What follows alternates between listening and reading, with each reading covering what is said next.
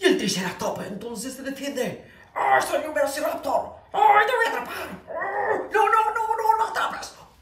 ¡Uy! ¡Hola, amigos! ¿Cómo están? Yo soy Matute. Me encanta jugar con los dinosaurios. ¿A ustedes también? Pero hay otra cosa que me encanta hacer. ¿Saben qué es? Leer. Leer cuentos. Leer historias. En los libros podemos leer historias maravillosas. Y hoy tengo uno acá espectacular. ¿Lo quieren ver? Miren. Las aventuras de los mellizos Treetop. Este libro lo podés tener en tu cajita feliz en McDonald's. ¿Sí? Puedes elegir un juguete o un libro. Yo elegí un libro que está buenísimo y podés imaginar todas las aventuras que hay dentro. ¿Quieren que se los lea? Ahí va, ¿eh? Dice así. Las aventuras de los mellizos Tritop. Los mellizos se enfrentan a un tiranosaurio. Hace mucho, mucho tiempo, el sol brillaba en el salvaje y magnífico mundo y las ciénagas volcánicas burbujeaban y echaban vapor. La familia Tritop, la primera en inventar una máquina del tiempo, ha viajado al pasado hasta la tierra de los dinosaurios. ¡Wow! ¿Se imaginan viajar hasta la tierra de los dinosaurios? Fue hace mucho, mucho tiempo. La profesora Penélope y el profesor Pablo estaban en la casa del árbol y los mellizos mayores, Alfie y Aya, cuidaban de los mellizos pequeños, Tulip y Ted. Todos estaban felices, todo estaba tranquilo. Qué buen viaje, ¿no? Hasta que... Ted se dio cuenta de que un pequeño y dulce bebé dinosaurio les observaba desde la cercanía. ¡Ay, mirá! dijo Ted. Ese bebé dinosaurio quiere que vayamos a jugar con él. Así que los mellizos Tritop siguieron al bebé dinosaurio hasta las zonas de las ciénagas. Se lo pasaron genial jugando con el bebé dinosaurio, que era muy bueno jugando a las escondidas. Y siempre los encontraba, por muy astutos que fuesen al ocultarse. Este pequeño y astuto dinosaurio sería una mascota estupenda, dijo Tulip. Hasta que... ¡Pum! ¡Pum! ¡Pum! Se escuchó un estruendo en el horizonte. ¡Parece un dinosaurio enorme! dijo Aya, mirando a la distancia. No te preocupes, dijo Alfie. Jamás nos verá desde tan lejos. Pero se oyó un ruido en la lejanía y el dinosaurio enorme salió corriendo hacia ellos. ¡Qué interesante! Ese dinosaurio enorme tiene una visión que es 13 veces mejor que la de un humano normal, dijo Aya entusiasmada. Acababa de leerlo en su libro. Me parece fascinante, dijo Alfie, pero creo que deberíamos salir corriendo. ¡Uy! Se fueron corriendo porque el dinosaurio los estaba por atrapar. Los mellizos Tritop agarraron al bebé dinosaurio y salieron corriendo tan rápido como pudieron. No te preocupes, dijo Alfie. Conozco un montón de sitios estupendos para escondernos. Los mellizos Tripod y el bebé dinosaurio se metieron en una charca de lodo y, y se escondieron en el viejo tronco de un árbol. Mientras... ¡Pum! ¡Pum! ¡Pum! El enorme dinosaurio andaba a trompicones por la brilla de la ciénaga. Vaya, es todavía más grande de lo que pensaba, susurró Aya con interés. Debe de medir... 12 metros de longitud. ¿Se imaginan? Es como cuatro autos, 12 metros de largo. Larguísimo. No te preocupes, dijo Alfie. Los dinosaurios enormes suelen ser herbívoros. ¿Saben lo que quiere ser herbívoros? Herbívoros quiere decir que comen plantas, que no comen otros animales. Así dijo. Así que solo, comen lechuga y cosas parecidas. El dinosaurio enorme abrió la boca.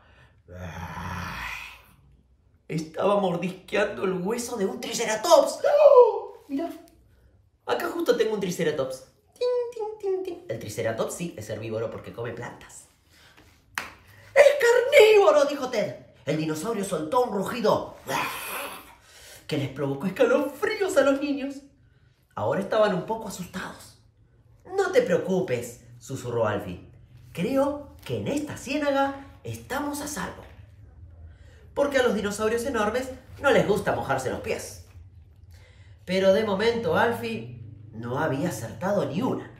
Y entonces Aya se dio cuenta de una cosa. Abrió su libro. ¡Oh! ¡Oh! Dijo Aya. Un carnívoro terrorífico. Mide 12 metros. Dientes de 23 centímetros de largo. Su vista es 13 veces mejor que la de un humano. Yo sé cuál es ese dinosaurio. ¿Ustedes saben cuál es? ¡Es un tiranosaurio! Se habían metido en un buen lío. ¿Qué podían hacer? Pero entonces Tulip y Ted también se dieron cuenta de una cosa. Creo que ese gran tiranosaurio es la mamá de este bebé dinosaurio, dijo Ted. El dinosaurio grande y el dinosaurio pequeño se parecían bastante. Dijo Tulip. Si la tiranosaurio grande es como su bebé, será muy buena jugando a las escondidas y no le importará mojarse los pies. Y efectivamente, ¡pum! ¡pum!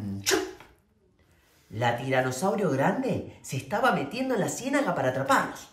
Pero justo a tiempo Alfie tuvo una idea estupenda. Soltó al bebé dinosaurio que salió corriendo desde atrás del tronco del árbol. La mamá tiranosaurio resopló de felicidad en cuanto lo vio. Y si no hubiera tenido unos brazos ¿Vieron que los dinosaurios, los tiranosaurios, tienen los brazos chiquititos? mira, ahí hay uno. Tiene los brazos muy chiquititos. Así que por eso dijo eso. Que la mamá dinosaurio, si no hubiera tenido los brazos tan chiquititos, le habría dado a su bebé un enorme abrazo ruidoso, alegre y lleno de barro. Entonces, los dos dinosaurios se fueron haciendo. ¡Pum! ¡Chop! ¡Pum! ¡Chop! salieron de la ciénaga y desaparecieron en el horizonte. ¡Adiós, bebé dinosaurio! dijo Tulip con tristeza. Jamás nos habrían dejado quedárnoslo, dijo Ted. Menos mal que estábamos leyendo esos libros de dinosaurios. Si no, jamás hubiéramos sabido qué hacer, dijo Aya. Y después jugaron todos juntos hasta que llegó la hora de la cena. Hoy he hecho muchos descubrimientos interesantes sobre el dinosaurio, dijo la profesora Penélope Tritop, mientras le servía a los niños un delicioso guiso de lechuga. Nosotros también, dijeron los mellizos Tritop. Los tiranosaurios pueden medir... ¿Se acuerdan cuánto? 12 metros, dijo Alfie. Son carnívoros. Y tienen los dientes muy grandes, dijo Ted. Y su visión es 13 veces mejor que la de un humano normal, dijo Aya. Pues sí habéis descubierto muchas cosas, dijo el profesor Pablo. ¿Y tú qué, Tulip? ¿Qué has descubierto sobre los tiranosaurios? Que son muy buenos jugando a las escondidas, dijo Tulip. Y que no les importa mojarse los pies. el profesor y la profesora Penélope parecían un poco sorprendidos. ¿De verdad? dijo el profesor Pablo. Eso yo no lo sabía. De noche, hace mucho tiempo, en la época de los dinosaurios, el cielo estaba salpicado de estrellas. Las ciénagas volcánicas murmuraban y humeaban. Toda la familia Tritop dormía profundamente. Bueno, casi toda. Estaban a 150 millones de años de su hogar. Pero la luna siempre parecía la misma. Incluso los tiranosaurios quieren mucho a sus bebés, dijo Tulip. Ni se estaba durmiendo. ¿Crees que si encontrábamos a otro, dejarán que nos lo quedemos? Ni lo sueñes, dijo Ted. ¿Y los dos? Se quedaron dormidos. Y colorín colorado, este cuento ha terminado. Espero les haya gustado y lo hayan disfrutado tanto como yo. Y ya saben que pueden ir a McDonald's y pedir en su cajita feliz un libro como este sobre historias de dinosaurios que están buenísimas. Nos vemos chicos, chao.